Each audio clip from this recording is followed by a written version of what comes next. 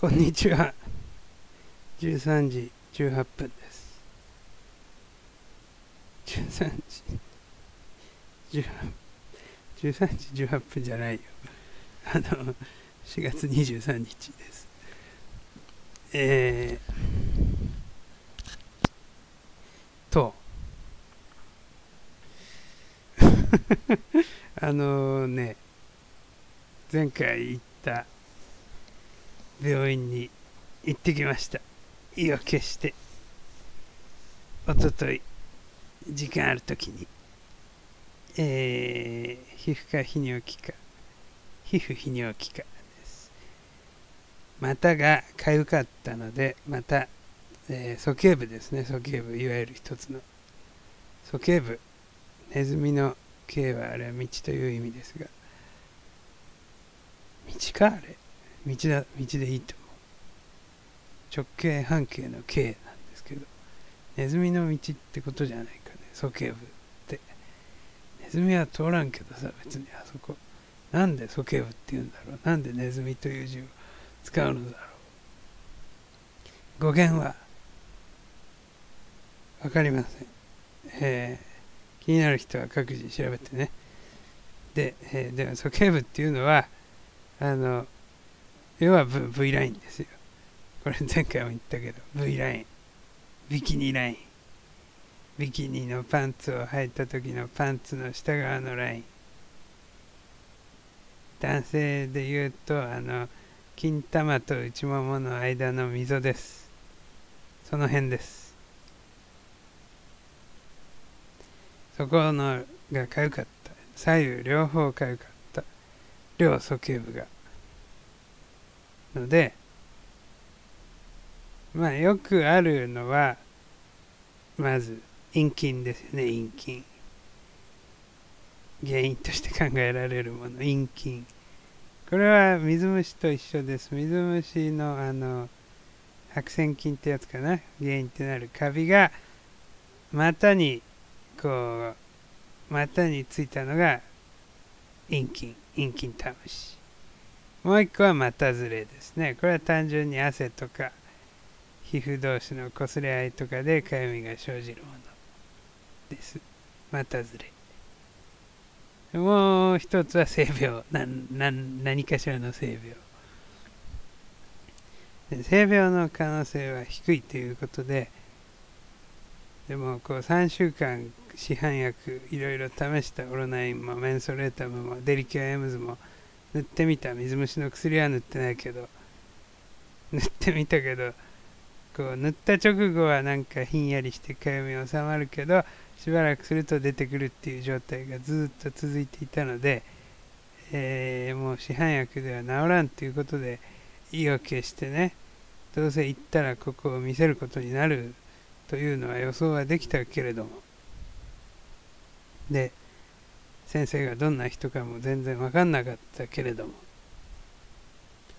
男性なのか女性なのか顔はいいのか悪いのか若いのか年寄りか、えー、ひょうきんか真面目かその辺は全然分からなかったけれどもとりあえず性病の可能性とは皮膚皮膚病皮膚病ってのもおかしいけど。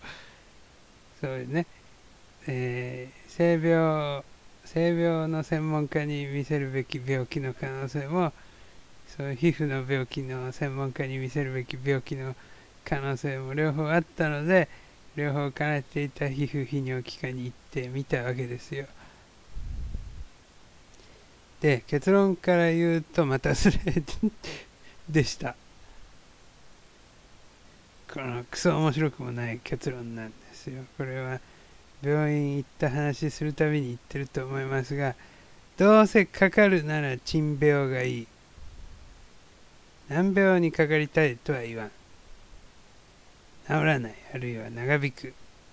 QOL が下がるようなのは嫌だ、私は。もちろん今難病になってる人をけなすつもりはもっとございません。それは嫌でしょ。みんな。かかりたくないでしょ。今かかってる人でさえこんなんかかりたくなかったって言うと思うよ。その話をしているだけですよ私は。どうせかかるなら話の種になるような珍病がいい。珍しい病気。大人がかかる手足口病みたいな。そういうやつがいいと。持ってたんですが蓋を開けてみれば陰菌ですらない。ただの股ずれっていう話なんですよ。なんで股ずれがこんなに頑固に長引くのか。なんでオロナインもメンソレータムも効かないのかという疑問はさすがにあったわけですけど。とにかくまあまず病院は空いてた。このコロナの影響かどうか分かりませんが。とにかく空いてた。開業医なんかいつ行っても年寄りで混んでるイメージじゃないですか。年寄りで。ね。朝行くとちっちゃいことをやって組み合わせで混んでるし。年寄りは朝もいるけどね。だから午後狙って行ったんですよ。午後の方が実は意外と空いてるから。午後狙って行ったんですが私の前で別にすごく早く行って診療開始時間前から待ってたとかでもないのに割と中途半端な時間に行ったのに私の前に待ってる人が1人だけだった。でその人ももう診察は終わって会計待ちっていう状態だった。だから多分コロナ関連以外の病院は今結構暇だと思います。病院行くとなんか移りそうなイメージはあるんじゃないかしらね。今もうどこ行っても皆さんも見てると思いますが例えば受付に透明のシートみたいなものを貼ったりして飛沫を防ぐような対策を施してますよね。私もついに実家から送ってきたマスクを引っ張り出してつけるようになったんですがこれ多分売れるよね。転売ではないから。実家のマスクは元からあるやつだからこのコロナの前から。60枚入りが1箱来たんですよ。売れるよね多分。売らんけど。まだその最初の1枚を5章大事に使ってますよ。もう4日目ぐらいですけど。まだ臭くはない。臭くはないだうちの事務所も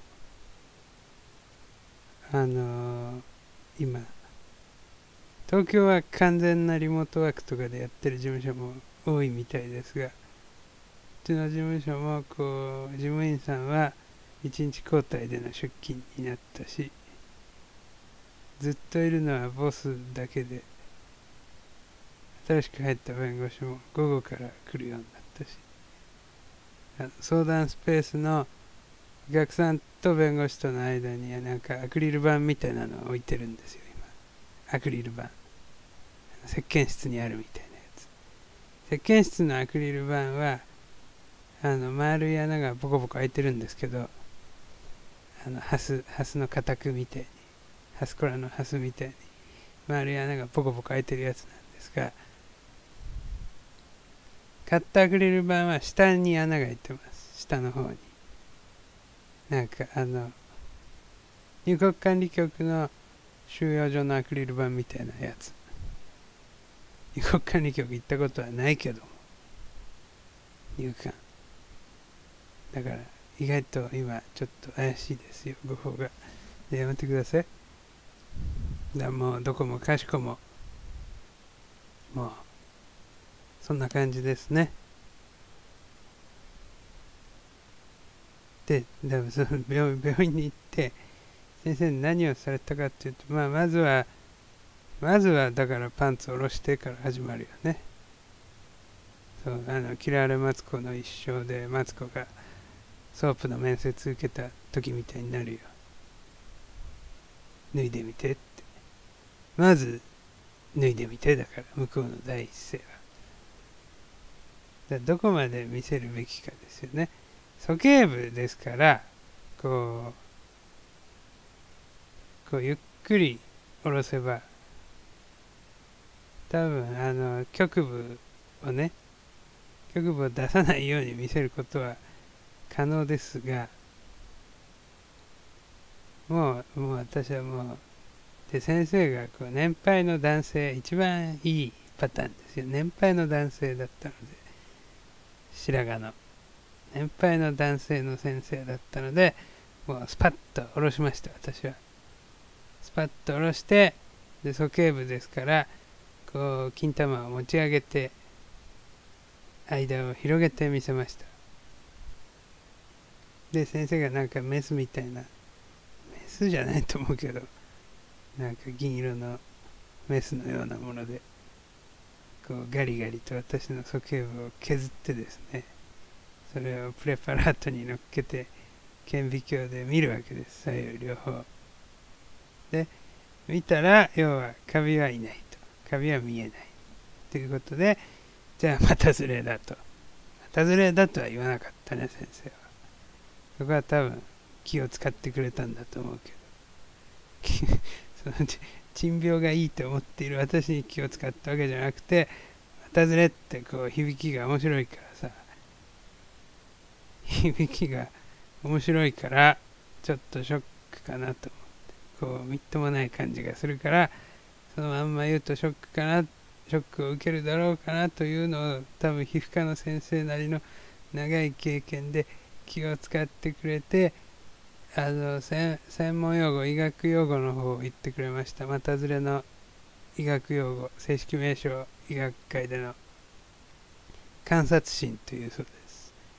漢字は観察心観は間です。殺はね殺はあのこするっていう字だ。作家賞の殺。するともよ手辺に手辺にあの観察の殺だとわかんないね。観察心って言ってんだから。だからあのけそうそう。警察の殺。手辺に警察の殺。いいね。いいいい。わかりやすいね。こするっていう字よ。間こする心は失神の心です。病だれにちょいちょいちょいちょいちょいっていう字で。あ れ説明できない。病わかるでしょ？病だれにちょいちょいちょいちょいちょいで。失神の心あといろいろあるだろうなんか。診診診断書の診は違うね。診断書の診は違うんだけど診断書の診の作りですよ作り。右側。ごんべんじゃない方。診断書の診からごんべん取る取ったやつはさちょいちょいちょいちょいちょいっていう字でしょ。山枝の中にそのちょいちょいちょいちょいちょいを書くの。これで心観察心。これはいろんな場所にできるやつの総称です。汗とか汚れとか皮膚同士の擦れ合いとかでなんか炎症みたいなことになってかゆみが生じる。こうというのをもうネットで見ま調べましたから。後発部位。よく起きる部位。まず女性の乳房の下。乳房ですよ。医学用語だと。乳房。巨乳は乳ずれが起きるってことですね。女性の乳房の下。でしょ？下腹部。下腹部はこれ陰部のことではなくておそらく。陰部ってその後書いてあったから。乳房。下腹部陰部って書いてあったから。陰部のことではなくて文字通り多分出た下っ腹と下の皮膚の間のことです。乳房の下と同じメカニズムでしょう。だから安禄山みたいな人は起きやすいってことでしょうね。安禄山知ってますか？皆さん。多分何回か喋ってますよ肉声で。安禄山はこれは太りすぎであの出た腹がね腹が出ててその出た腹が膝まで届いてたそうです。これはほんまかいなっていう感じなんですが立った状態で膝まで届いてたのかな。それはもうなんか死ぬと思うけど。でも座った状態で膝まで届いたってことなのかな。同じことだろうな多分。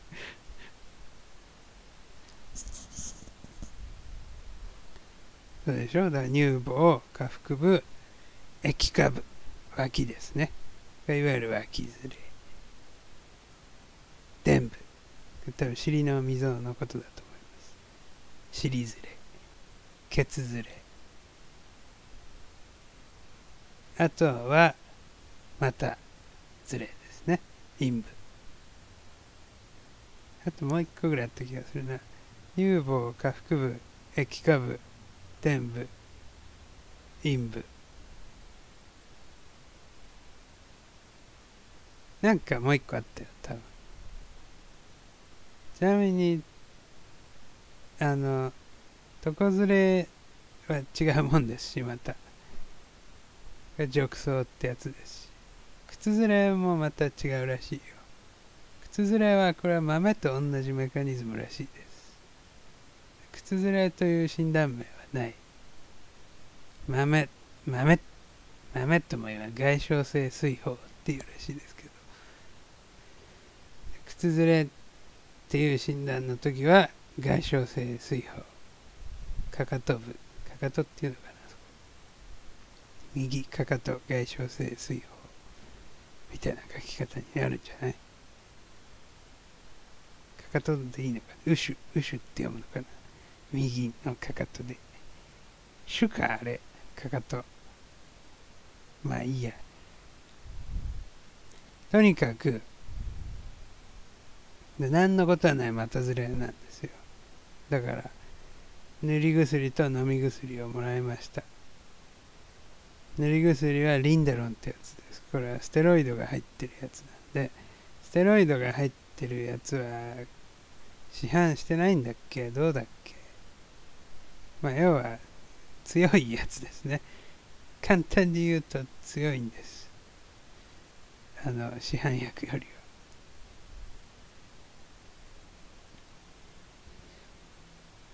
であと飲み薬はねなんとかさんってやつだったね。なんとかさん。なんか朝食後1錠と寝る前1錠なのよで寝る前のやつの方がなんか強いの。確か。なんか強いのかな？強いのか分からんけど。薬の大きさが一緒なんだけど確か有効成分が入ってる量が寝る前のやつの方が多いみたいな。そんな感じだった。だからね。だからなんだろう。39度のあのだからあ何？今んとこあんまり聞いてないですよ。まだ。一昨日だから。2日分ぐらいしか飲んでないですが。飲んだり塗ったりしてないですけど。そんなに劇的に効いてはないね今んとこだからあのまた1週間後行くことになってますので病院に。そこでなんかあんまり変わり映えしなければ他の原因も疑うということだとは思いますが。いやしかし。ねえ。股ずれですよ。結局は股ずれなんですよ。股ずれってやっぱやだね。なんか五感の面白さってあるんですよ。やっぱりこの五感というか語呂というか言葉の響き？響きの面白さってあるの。響き的に面白さポテンシャルの高い言葉ってあるの。トンズラとかさ。トンズラは高いね。すごく高いね。何？あとトンズラ。あのカッパカッパも高い。カッパはすごい。トンズラ。カッパ。いろいろあるよあと。いろいろあるんで国名で考えるかい？国名国名で響きのポテンシャルが高いの。パプアニューギニアとか。かアンダ君はやっぱり強いね、パ行は。パピプペポは。パプアニューギニア。うん、パプアニューギニアは強い。強い。あとなんだろう。ちょっと。なんかもう国名だと広すぎるな。もうちょっと絞ってみよう。例えば、東南アジアで強いのはどこか。一番強いのは。ミャンマーかな。ミャンマー強そうだな。東南アジアあと何がある？こう、ベトナム、タイ、ラオス、シンガポール、インドネシア、マレーシア、フィリピン、ブルネイ、東ティモール。東ティモールも強いね。東ティモールは強いね。東ティモールとミャンマーの一騎打ちだろうね。でもね、ビルマ、ビルマ、ビルマも強いな。ビルマも強い。フィリピンはちょ、ちょっと狙いすぎです。ちょっと狙いすぎです、フィリピンは。ダメです、それは。あだ横チンは多分トンズラやカッパに負けるんですよ。それと同じ話ですよ。横チンやノグソは。ちょっと狙いすぎなんですよ。いや、強いんだけど。だフィリピンはちょっと狙いすぎなんだよ。だから、ミャンマーか東ティモール。でもビルマが現役だったら、ビルマが最強だと思います、私は。いいね。そういうことですよ。違うジャンルで考えてみるかい？例えばかき氷の味だったら、かき氷の味？かき氷の味はやっぱりブルーハワイが最強ですよ。ブルーハワイが。もう、もう宇治金時に大きく水を開けての1位ですよ。ブルーハワイは。これはすごい。これはね、ハワイ、ハワイを取ってつけた感とかがすごいこれは。ちょっと待って。かき氷の味はね一強すぎてね。その一強の圧勝度合いが過ぎるからあんまりカテゴリーとしてよろしくないな。どうなんか都道府県名とかでやってみる？地名だからな東南アジアと一緒でちょっとかぶるから。地名じゃないやつがいいんだ。人名とかにしてみるか。人名？人名だって何でやる？スマップの中の誰か。スマップの中の誰かじゃないな。違うな。アルフィーの中の誰か。そういうことでもない。スマップの中で誰？って考えてみる中井正宏木村拓哉草薙剛香取慎吾稲垣吾郎。ああダメだ。これはどんぐりの背比べだ。全然ダメだ。人名人名よくないな。なんか誕生石とかにしてみるか。誕生石だとこれも完全にトルコ石の圧勝なんですよ。これはこれはもうトルコ石がぶっちぎってるの。ほんと10馬身差ぐらいつけてるわけよもう。これも良くないな。やっぱ地名がいいな。国名で考えてみよう。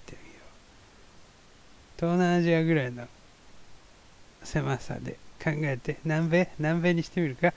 南米ダービー。ブラジル、ウルグアイ、パラグアイ、アルゼンチン、チリ、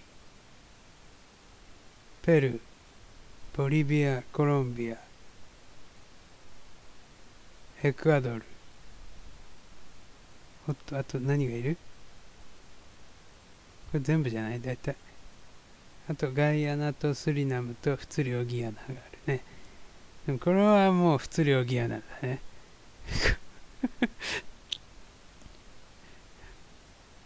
それやっぱ東ティモールも強いからな。なんか漢字とカタカナが組み合わされてると強くなるのかな。ソ連も強いからね。ソ連も強いよ。ソ連も強い。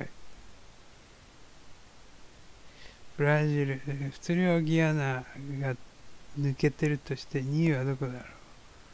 2位はでもボリビアかパラグアイだと思うな。チリチリも結構いいかもね。